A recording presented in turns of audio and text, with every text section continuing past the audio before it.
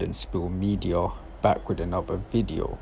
Now today we got legendary rap artist Giggs from the UK voices his opinion and why he's not happy with the Tape Spot London nightclub.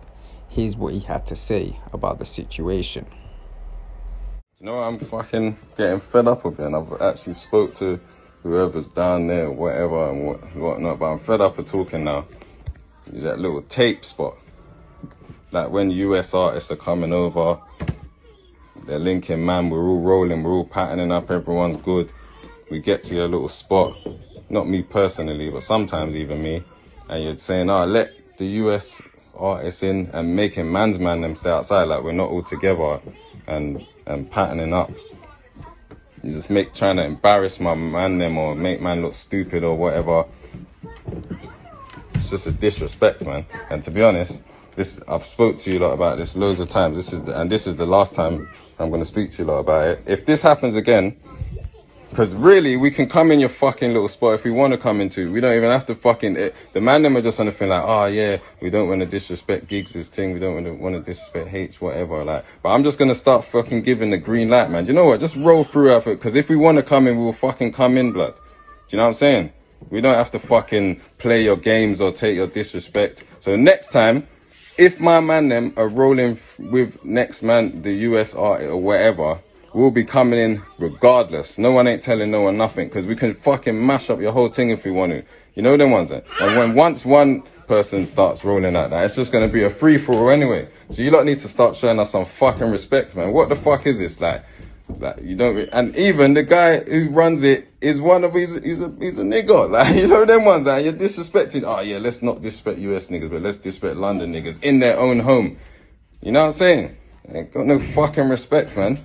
So let that happen again. Let my man them be outside one more time, yeah? And you're gonna see what's gonna happen. We're just gonna run through your whole thing, just mash up your whole thing. Seriously, man, because you lot are fucking milking it, blood. This ain't no fucking joke, blood. You taking man's kindness for weakness. You think we're fucking heavy for no reason. Anyway, keep up the good work anyway. Next time, you let in niggers and you make my man them, or anyone, wait outside, you're gonna see what's gonna happen. We're gonna be coming through there, 100%.